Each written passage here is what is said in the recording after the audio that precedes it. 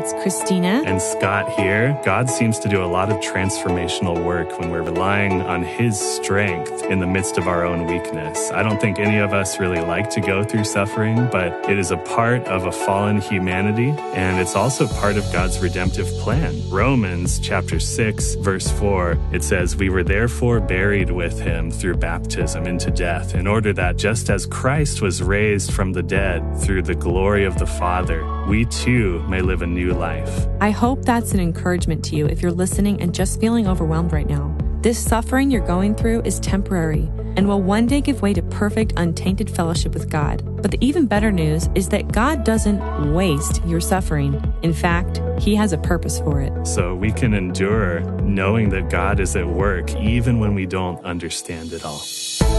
For more encouragement, visit scottmacintyre.com and be sure to follow the Enduring Hope podcast.